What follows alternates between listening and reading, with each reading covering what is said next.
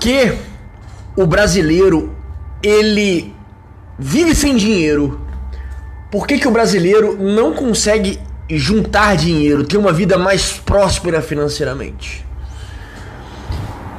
Existem motivos pontuais para isso e é exatamente essa questão que eu quero trabalhar neste conteúdo, neste podcast.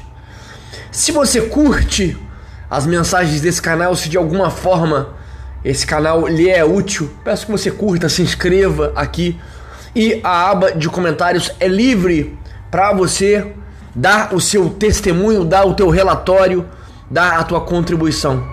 Eu analiso essas contribuições e, em muitos casos, crio conteúdos em cima disso.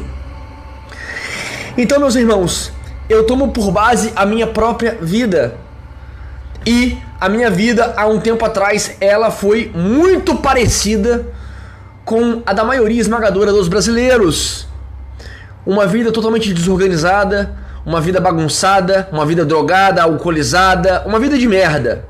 Uma vida podre, uma vida de bosta. Por quê? Porque além de eu me sentir fracassado, de eu me sentir imundo, de eu me sentir feio, de eu me sentir imprestável, eu não tinha grana. E isso é, sem sombra de dúvidas, o maior problema que o brasileiro médio enfrenta.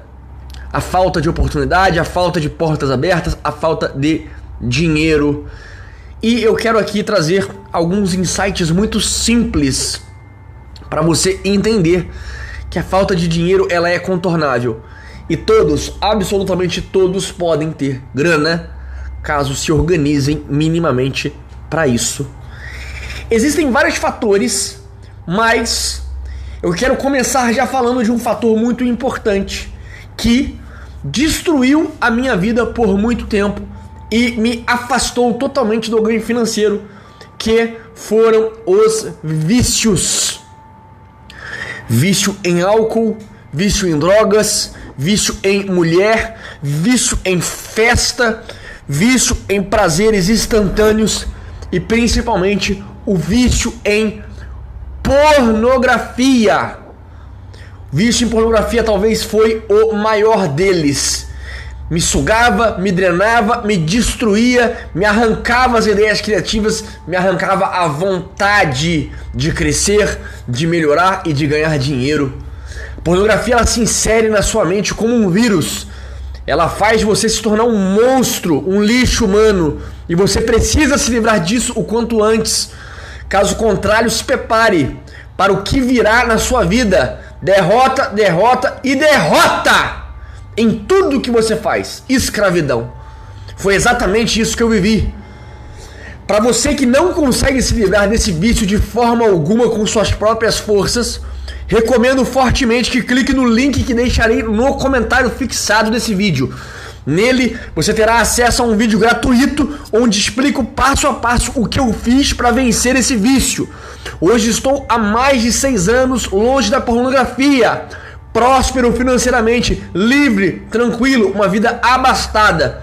E foi graças à estratégia das camadas de blindagem que serão explicadas nesse vídeo. Então clica lá, faça isso por você, pois acredite, ninguém irá mais fazer, ninguém irá ajudar você se você mesmo não tomar essa atitude. Ninguém está aí para você, nem aí. Ninguém mais irá fazer por você. Pegar a tua mão e te ajudar nesse caminho. O link estará aqui no comentário fixado.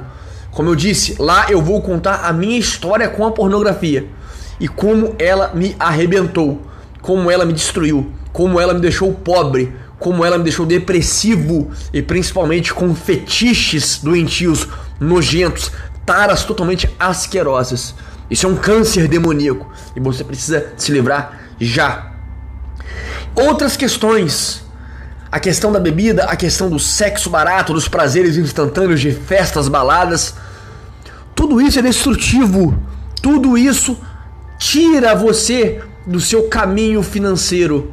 E uma coisa simples, gente, que vai colocar grana no bolso de vocês é vocês pararem, ficarem em silêncio, tanto antes de dormir quanto ao acordar. Eu quero que vocês fiquem em silêncio, vocês reflitam a vida de vocês. O que aqui é excessivo? O que aqui não faz sentido? O que aqui está comendo o dinheiro que eu ganho, o tão suado dinheiro? Então passe a excluir essas coisas da sua vida. Sim, simples assim. Gente, parece bobeira, mas só de vocês excluírem os vícios, os hábitos ruins, excluir as companhias negativas, o ato de frequentar lugares destrutivos que sugam o seu dinheiro, porque dinheiro é uma energia. Se você cortar esses males pela raiz, vai sobrar dinheiro na tua mão no fim do mês. Seja 100, 200, 300, 500, mil e a perder de vista. Você vai conseguir ter dinheiro, mas você precisa ficar quieto no teu canto refletir, fazer as suas orações. Você não faz isso. Você não fica quieto, você não reflete, você não fica em silêncio, em profunda meditação, refletindo a tua vida. Uma vida não observada não vale a pena ser vivida. Deixe pessoas e coisas de lado e reflita. O que que está em excesso na minha vida? O que que não faz sentido manter? O que que não faz sentido permanecer? você vai perceber que muita coisa na sua vida não faz sentido permanecer ali. E o dinheiro passará a sobrar. Não estou falando para você ter uma vida miserável, para você cortar todos os seus baratos. Não! Não! Na minha concepção sempre sobra muito dinheiro, mas eu não deixo de ter os meus luxinhos, comer nos meus restaurantes, a minha comida japonesa, o meu hambúrguer artesanal, né? Às vezes ir numa festinha ou outra para interagir com os amigos, você pode. A questão é, você tem controle sobre isso? Você tem controle sobre você mesmo? Você tem controle sobre os seus impulsos, os seus vícios? Só de você eliminar os seus vícios, cigarro, cachaça, mulher, putaria, balada, querer ostentar, querer uma vida egocêntrica, egóica, vai sobrar dinheiro no teu bolso pra cacete. Vai sobrar dinheiro pra cacete e você vai ter uma vida melhor. Você vai conseguir fazer os seus investimentos, você vai conseguir principalmente investir em você mesmo, na sua aparência, na sua, na, na sua venda, na sua persuasão, a venda da sua persona, né? Ter um amanhã melhor, ter uma, uma qualidade de vida melhor. Mas você precisa refletir, você precisa enxugar a sua vida para que então você consiga so, para que consiga ter dinheiro no teu bolso, sobrar dinheiro no teu bolso. E não é difícil, gente.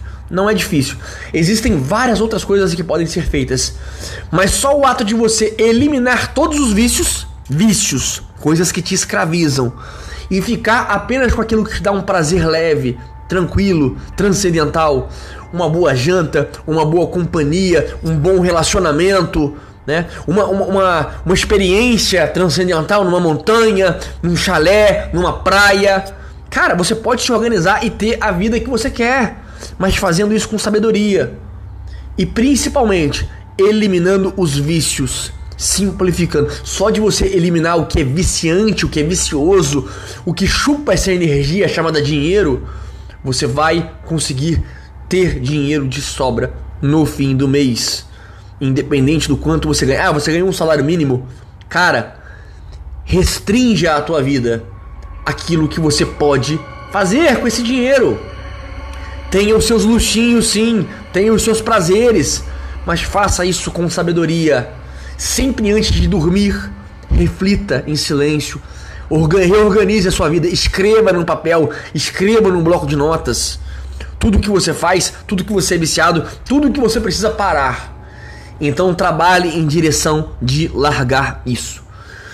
Caso o seu problema seja o raio do vício em pornografia, da masturbação, que você está jogando a tua energia sagrada fora, já disse, aqui no comentário fixado estará exatamente a estratégia das camadas de blindagem que serão explicadas nesse vídeo. Então clica lá, Faça isso por você. Acredite, ninguém mais irá fazer. Ninguém irá ajudar você se você mesmo não tomar essa atitude. Stay hard.